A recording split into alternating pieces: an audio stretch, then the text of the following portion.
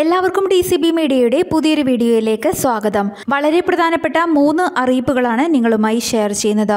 Video ഇഷ്ടമായാൽ like ചെയ്തൊന്ന് support തരുവാനും channel ആദ്യമായി കാണുകയാണെങ്കിൽ സബ്സ്ക്രൈബ് ചെയ്യുവാനും മറക്കാതിരിക്കുക.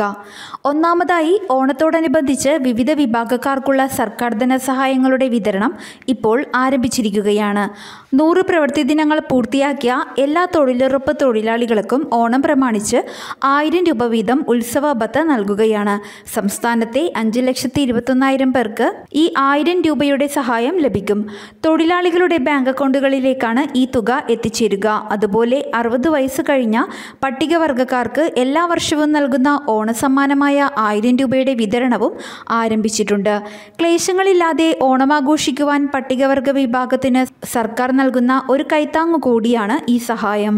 അറുപതിനായിരത്തി അറുന്നൂറ്റി രണ്ട് പേർക്ക് ആയിരം രൂപയുടെ ഈ സഹായം വിതരണം ചെയ്തുകൊണ്ടിരിക്കുകയാണ്. ഈ രണ്ട് കൂട്ടരിലും പലരും സാമൂഹ്യ സുരക്ഷാ പെൻഷനുകളും ലഭിക്കുന്നവരാണ്. അങ്ങനെയുള്ളവർക്ക് മൂവായിരത്തി ഇരുന്നൂറ് രൂപയുടെ സാമൂഹ്യ പെൻഷനൊപ്പം ആയിരം രൂപയുടെ ഈ സഹായം കൂടി ലഭിക്കുമ്പോൾ മൊത്തം നാലായിരത്തി ഇരുന്നൂറ് രൂപ ഈ ഓണത്തിന് ലഭിക്കും. രണ്ടാമതായി വന്നിരിക്കുന്ന അറിയിപ്പ് രാജ്യത്തെ അസംഘടിത മേഖലയിൽ തൊഴിൽ ചെയ്യുന്നവരുടെ ഉന്നമനത്തിനും ക്ഷേമത്തിനും വേണ്ടി കേന്ദ്ര സർക്കാർ കൊണ്ടുവന്നതാണ് ഈശ്രം ശ്രം പദ്ധതി.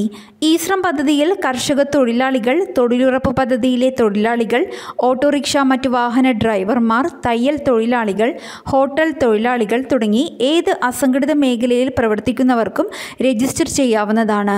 ഈ ശ്രം പദ്ധതിയിലേക്ക് ഇപ്പോൾ കുടുംബശ്രീ അംഗങ്ങൾ കൂടി രജിസ്റ്റർ ചെയ്യുവാനുള്ള അവസരം എത്തിയിരിക്കുകയാണ്.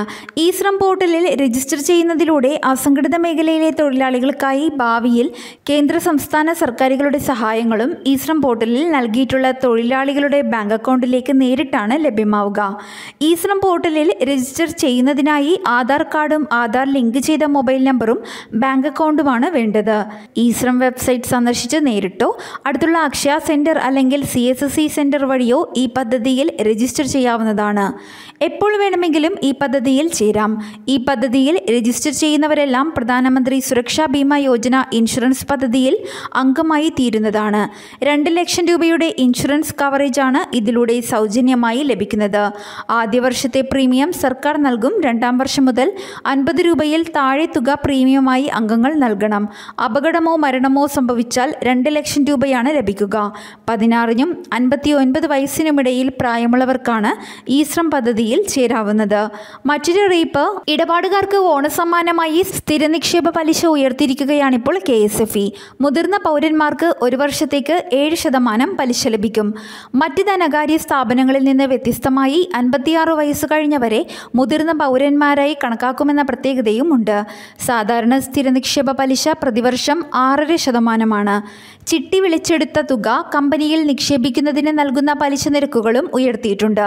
ചിട്ടിത്തുകയിൽ നിന്ന് ഭാവി ബാധ്യതയ്ക്കുള്ള തുക കമ്പനിയിൽ നിക്ഷേപിക്കുന്നതിന് ഏഴര ശതമാനം പലിശ പ്രതിവർഷം ലഭിക്കുന്നതാണ്. ചിട്ടിത്തുക പൂർണമായും കമ്പനിയിൽ നിക്ഷേപിച്ചാൽ പ്രതിവർഷം ഏഴ് ശതമാനമാണ് പലിശ ലഭിക്കുക. ഈ ഇൻഫോർമേഷൻസ് നിങ്ങൾക്ക് ഉപകാരപ്രദമായെന്ന് കരുതുന്നു. മറ്റുള്ളവർക്കും ഷെയർ ചെയ്തു നൽകുക. മറ്റൊരു വീഡിയോയുമായി വീണ്ടും കാണാം.